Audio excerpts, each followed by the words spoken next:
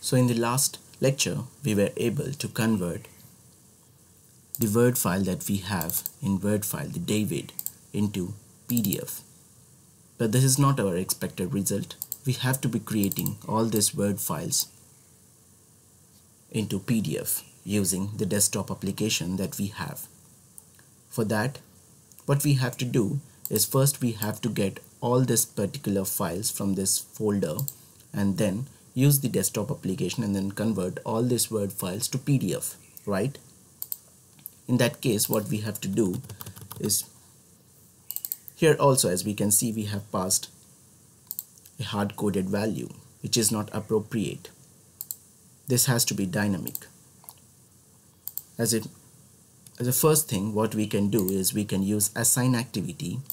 I'm just dragging it to get the files all the files available in that particular folder word files folder I can do is start typing directory.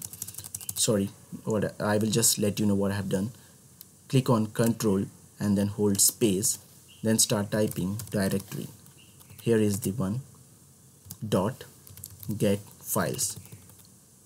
Just click on get files available to you here open brackets double quotes and pass the folder from where you want to get all the files from. I've copied the path and pasted it over here. Okay so this particular .NET function will give me all the file paths available in that particular folder. I have to save this in a variable. This will result in an array of strings so I have to create a variable control K my files and enter.